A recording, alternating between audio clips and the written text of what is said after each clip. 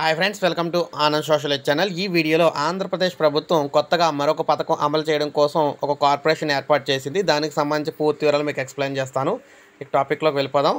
వీడియోనేస్తే ఒక లైక్ చేయండి. ఇటువంటి లేటెస్ట్ అప్డేట్స్ అన్నీ కూడా మీకు తెలియాలంటే మన ఛానల్ సబ్స్క్రైబ్ చేసుకోకపోతే సబ్స్క్రైబ్ చేసుకోండి. ప్రతి లేటెస్ట్ అప్డేట్ కూడా మీకు ఇవ్వడం జరుగుతుంది. మీరు చూసుకోవచ్చు ఆర్థికంగా వెనకబడిన వర్గాలకు కొత్తగా సంక్షేమ శాఖ. పరిధిలోకి రెడ్డి కమ్మ కాపు బ్రాహ్మణ క్షత్రియ ఆర్యవైశ్య కార్పొరేషన్లు. ఆర్థికంగా వెనకబడిన వర్గాల ఈడబ్ల్యూఎస్ కొత్తగా సంక్షేమ శాఖను ఏర్పాటు చేస్తూ ప్రభుత్వం మంగళవారం గెజిట్ నోటిఫికేషన్ విడుదల చేసింది.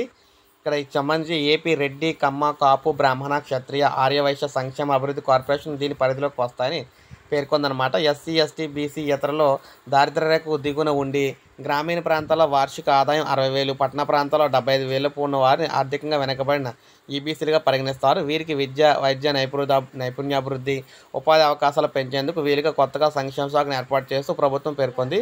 అయితే ఇటీవలే ఇక్కడ నవంబర్లోనే ఇక్కడ ఈబీసీ నేస్తం పథకాన్ని కూడా ప్రారంభిస్తున్నారన్నమాట. ప్రతి సంవత్సరం పదిహేను వేల రూపాయల మహిళలకు ఆర్థికంగా వెనకబడిన మహిళలకు అగ్రవర్ణాలు ఆర్థికంగా వెనకబడిన మహిళలకు ఈబీసీ నేస్తం పదిహేను వేల రూపాయల పథకానికి సంబంధించి కూడా ఈ సంక్షేమ శాఖ నుండి అమౌంట్ అయితే ఇవ్వనున్నారు ఈ కార్పొరేషన్ నుంచే. దీనికి ఈ నెలలోనే ఈ నెల ఎండింగ్లో నవంబర్ ఎండింగ్లో ఈ పథకాన్ని అయితే ప్రారంభించున్నారు సీఎం జగన్మోహన్ రెడ్డి గారు. సో వారికి పదిహేను వేల రూపాయలు అయితే అమౌంట్ వేయడం జరుగుతుందన్నమాట ఈ కార్పొరేషన్ ద్వారా సో ఇది ఫ్రెండ్స్ ఈ వీడియో. వీడియో లైక్ చేయండి. ఇటువంటి లేటెస్ట్ అప్డేట్స్ కోసం మన ఛానల్ సబ్స్క్రైబ్ చేసుకోకపోతే సబ్స్క్రైబ్ చేసుకోండి.